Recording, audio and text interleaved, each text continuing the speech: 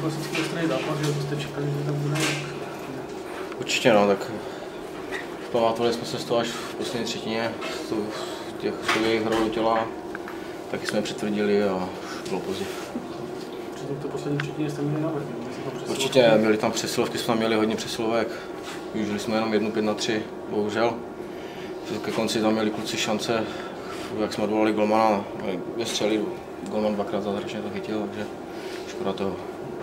Na tebe bylo hodně faulů, nicméně jeden tvůj faul byl potrestaný, jak se viděl. No tak jo, tam jsem se nechal opáchnout jak malý kluk.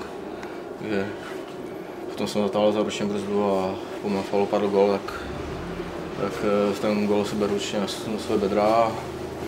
A jsme jsem trošku očinil tím svým golem potom v té přesilovce, že, jsem to stál, že jsme to stáli na jedna jedna a v podstatě, byl nový zápas. To měl že předtím. Určitě, já jsem měl pár střel ve dvě jednou těsně, pravý horní jsem netrefil a uletělo to celé, celé pásmo, jsme to měli bránit, takže jsem trefil, trefil jsem bránu, no, ať z toho je ještě nějaký tlak, ale nemůžu, nemůžu netrefit bránu. Lukáš Klub to přišel na chuť těm dvačkám, to odskákal, nedohrál, no, ale co jsi říkal na to, jo, super, tak ukázali jsme, že se nebojíme, že si budeme chrá- chránit svého golmana, svůj, svůj prostor před bránou a to je důležité jim poslat takovou zprávu nebo zprávu. Jako. Ukázali mi, že, že se nebojíme tady toho hrát do těla, porvat se a bojovat za součest.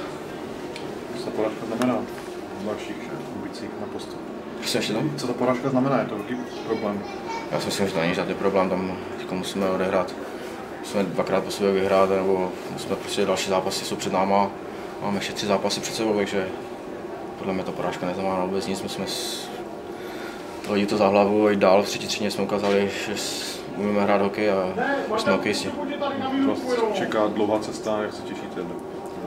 Tak ještě se tam nebyl, tak se určitě těším. a Doufám, že vrátíme všichni v pořádku domů.